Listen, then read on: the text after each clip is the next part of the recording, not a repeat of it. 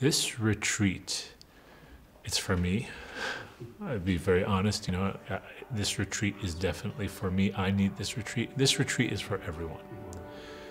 Islamic scholars, this retreat is for them. People who are out there doing da'wah, this retreat is for them.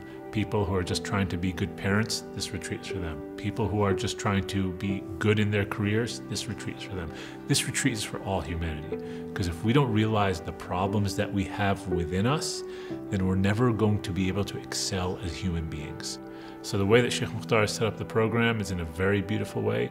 He makes sure that the times that the Messenger of God alayhi had his community in dhikr, we're in dhikr at that time. So before Fajr, we're in dhikr.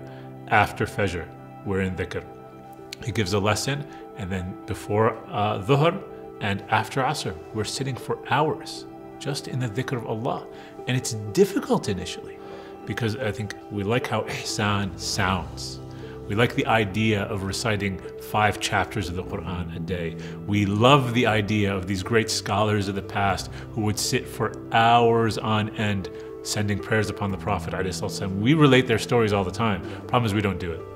Here, you want to call it tazkiyah, you want to call it tasawwuf, you want to call it ihsan, you want to call it spirituality. Whatever you call people to in terms of reciting the Quran theoretically, making dhikr theoretically, sitting by yourself and pondering over the creation of Allah theoretically happens here practically.